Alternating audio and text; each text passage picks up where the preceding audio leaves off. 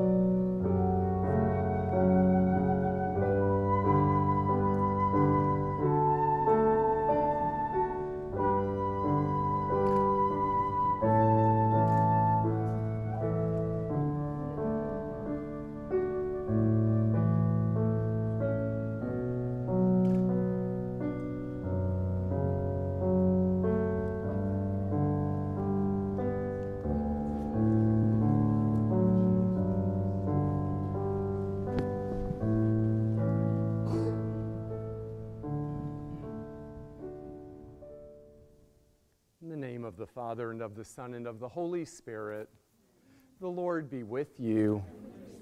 Good afternoon. Folks, we're at a wedding. This is a day of great joy, so we're going to try that again, okay? Good afternoon. Good afternoon. I'd like to take the opportunity to welcome everyone here in a special way to welcome anyone of any other faith backgrounds or traditions. I welcome all of the family and friends of Ian and Maria. And I say that on behalf of their parents, Carolyn and Adlai, and also on behalf of Ernesto and Liliana. And I know that many have traveled to be here for this day, and especially um, want to say thank you for making that effort on their behalf. I know they're very grateful for your prayers and for your presence. Yo quisiera extender bienvenidos a todos, especialmente los que están aquí de Colombia también. Muchas gracias por su presencia aquí, por Ian y María también. So, as we begin today, we look inside of our hearts. Let us ask the Lord for pardon and peace, forgiveness for the times we have failed Him, that we have failed others. We ask for the holy presence of God to come and to shower us with His blessings today, to put His tent of His grace around us, and especially upon Ian and Maria, that they will be able to truly accept all of the blessings that He has in store for them.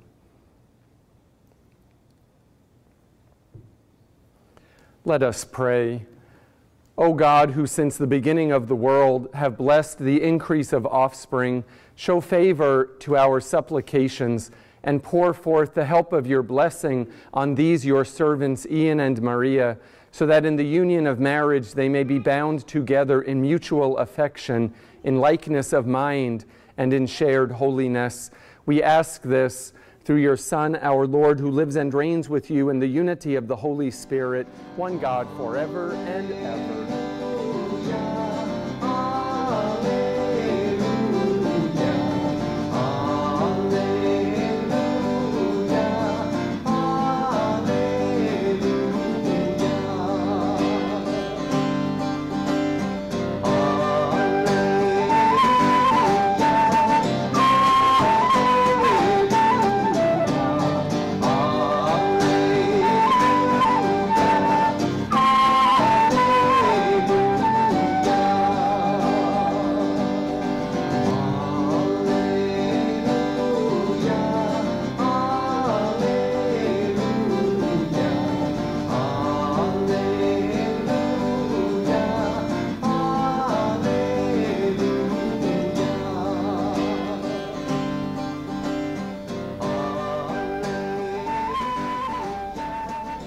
Presence of the church, of your family and friends gathered, I ask you to state your intentions. Ian and Maria, have you come here freely and without reservation to give yourselves to each other in marriage? I have. I have. Will you love and honor each other as husband and wife for the rest of your lives? I will. I will. Will you accept children lovingly from God and bring them up according to the laws of God that He has given to us? I will. I will. Since it is your intention to enter into marriage, I invite you to join your right hands, your left ones, that you may be able to declare your consent before God and His church. So nice and loud so the angels can hear you. Okay. Okay. Just repeat after me. I, Ian, I, Ian, take you, Maria, take you, Maria, to, to be my wife. To be my wife. I promise to be true to you I promise to be true to you in good times and in bad, in good times and in bad, in sickness and in health. in sickness and in health. I will love you I will love you and honor you and honor you all the days of my life. all the days of my life. Very good. Now it's your turn. I, Maria, I, Maria, take you, Ian, take you, Ian, to be my husband. to be my husband.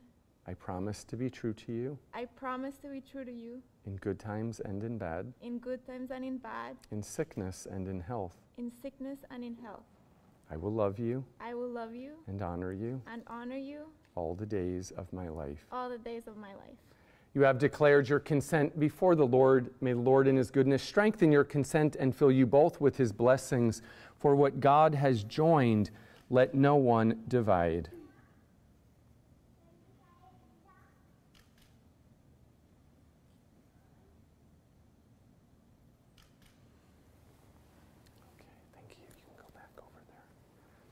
And at this time, I would like to invite Ian's parents and Maria's parents to come forward in order to be able to hold up the chuppah, which is symbolic of a tent, the tent that we hear about in the scriptures when Abraham and Sarah were very welcoming. It is part of the Hebrew tradition that we celebrate today at our wedding.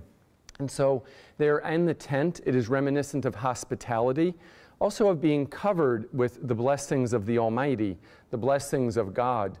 This particular chuppah that we're using is a prayer shawl that Ian wore actually on the day of his bar mitzvah.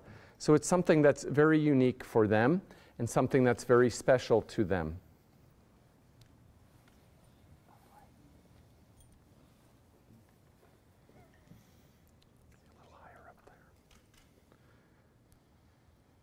Wedding rings have been worn by people for centuries, and they've been worn because they are witnesses and show to the world that there is someone special in each of your lives, that you have entered into a covenant that God has given to you. When we look at the wedding ring, we notice, as with all rings, it is round. A wedding ring has no beginning and no end. When we look at the rings you've chosen for each other, also, they are made of very special metals, of something that is treasured in the world, of something that is very precious, also something that is expensive. But these rings represent, Ian and Maria, something that money cannot buy, and that is the love that you share. So, Lord, we ask for your blessings upon these rings that Ian and Maria share today and exchange. May they be an outward sign of the gift of their love. May they be able to show to others, to all of the world, that they have someone that they've made a commitment to. We pray that their love may be eternal, that their love may be special, that their love may always receive your blessing in the name of the Father, the Son, and the Holy Spirit. Amen.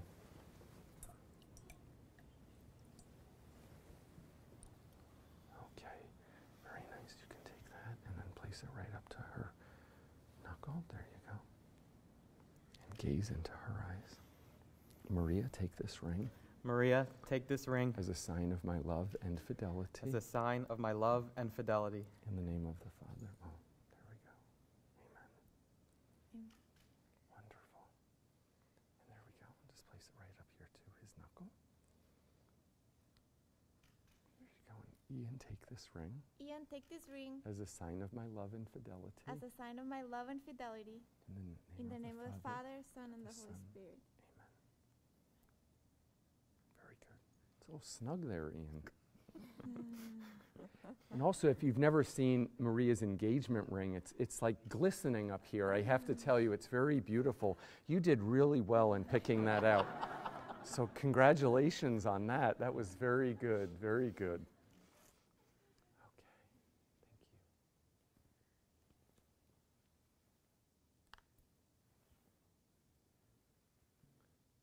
In our celebration today, we are incorporating the beauty of the heritage and the faith background of our couple in order that we can truly celebrate the gift of unity that we have been blessed with, which is reminiscent in all marriages, the gift of unity that we are brought together as one.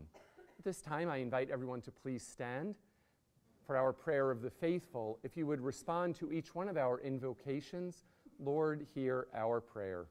We pray to the Lord for always unity among peoples, for peace in all lands, and for a greater acceptance of the blessings that God has given to us. We pray to the Lord. Lord, hear our prayer. We pray for elected officials. We ask that the Lord may bless them with the ability to enact laws that reflect the dignity of the human person and also that reflect the love that He's given to us. We pray to the Lord. Lord, hear our prayer. We pray today for Ian and Maria. We pray that God may continue to grace them with the gift of His holy presence in their marriage, that He may be the third party in their relationship, with them in their joys, but also to be able to lift them up in their sorrows. We pray to the Lord.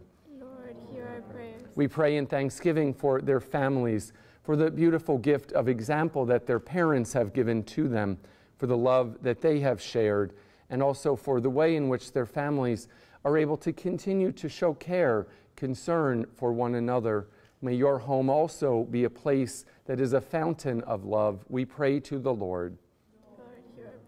For all who are ill, for those who go day by day without hope for a better tomorrow, let us pray for those who suffer from addictions or from illnesses that are not seen by the eye.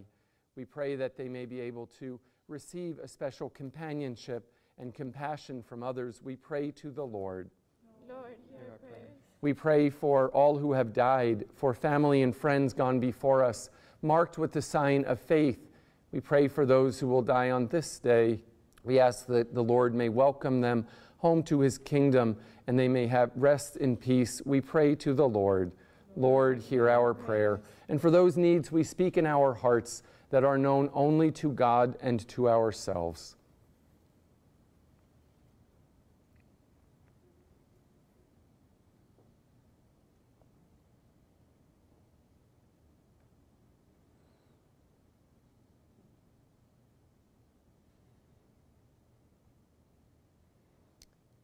We pray to the Lord.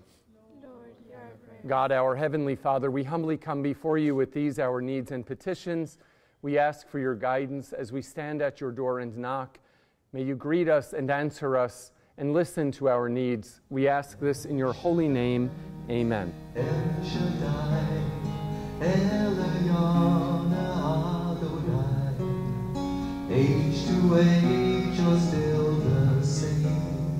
By the power of the name, El Shaddai, El Shaddai, El Kokon Adonai.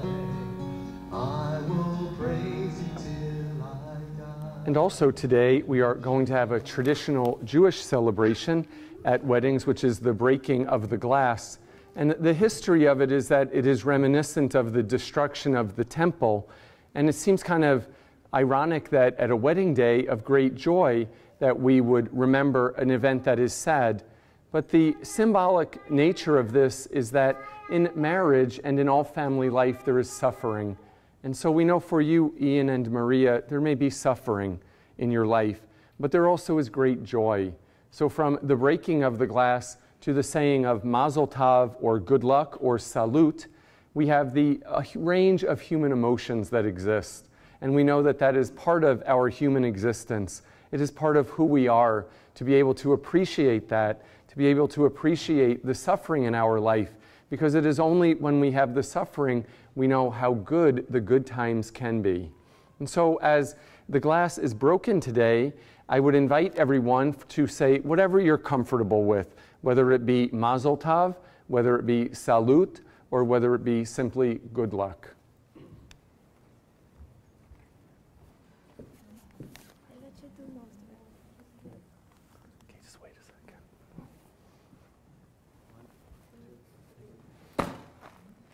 Mazel Tov.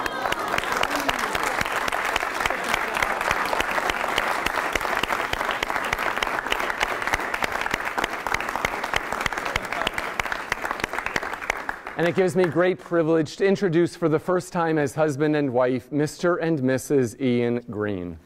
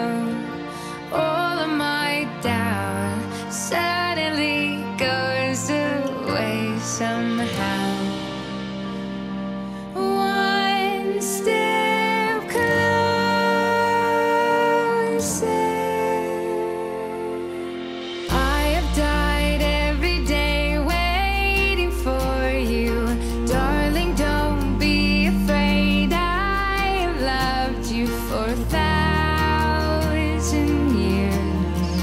I love you for